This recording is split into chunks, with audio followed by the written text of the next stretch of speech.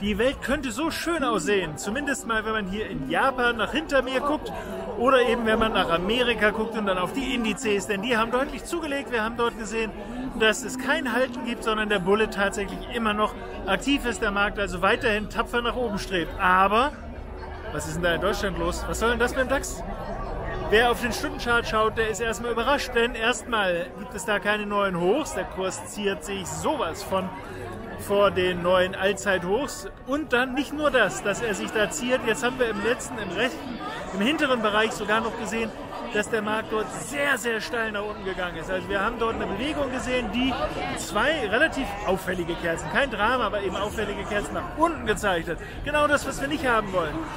Das heißt, wenn wir Short-Term-Trader sind, wenn wir kurzzeitig mal traden können, dann unter Umständen schon, denn das wäre ein erster Schub, den wir dann nach unten unterwegs haben, der anschließend mit einer Korrektur nach oben sogar nochmal wieder ein Short erlauben würde. Wie jetzt?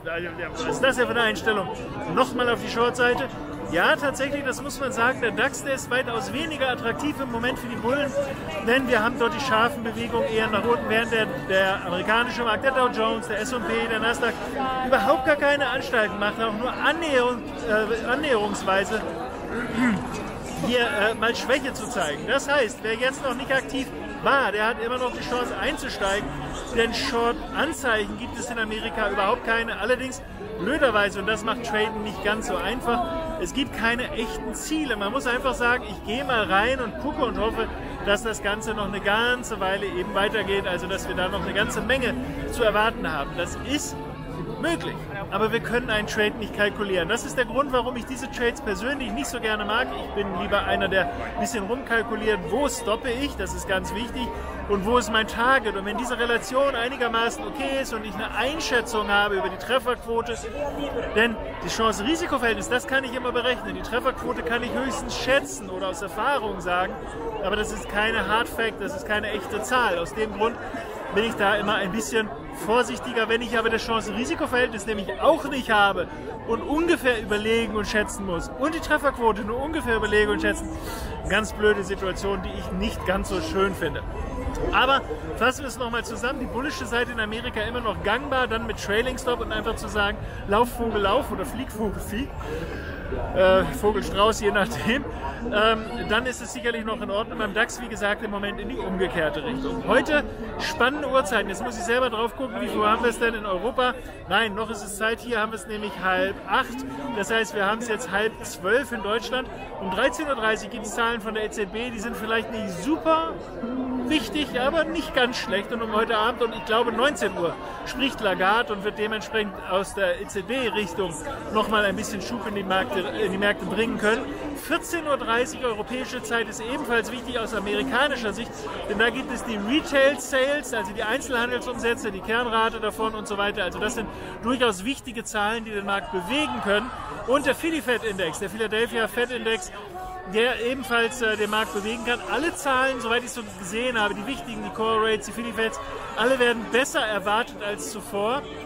Das muss alleine noch nichts heißen, denn wie es rauskommt, ist entscheidend. Aber 14.30 je nachdem, wie sie rauskommen können, kann es ein Big Relief geben, eine große Entspannung. Der Markt schießt dann tatsächlich richtig nochmal nach oben.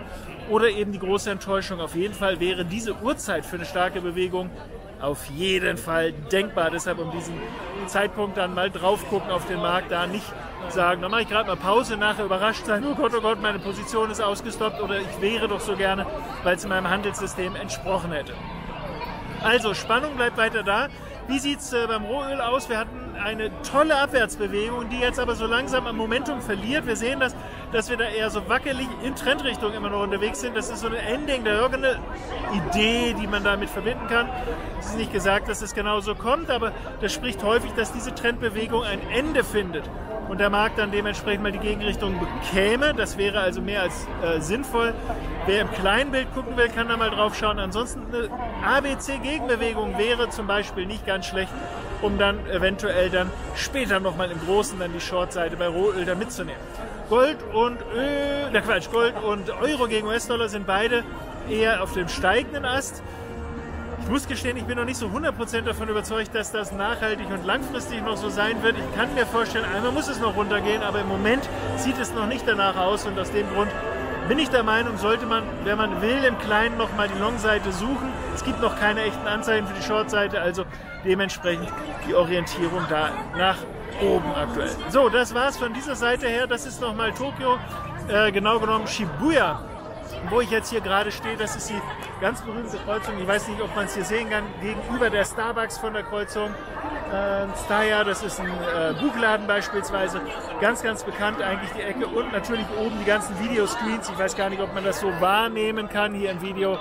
Einfach nochmal als letzten Eindruck. Vielleicht besser als der Kerl ohne Haare hier. Deshalb machen wir nochmal einmal dieses Bild von der Kreuzung für einen letzten Eindruck aus Tokio.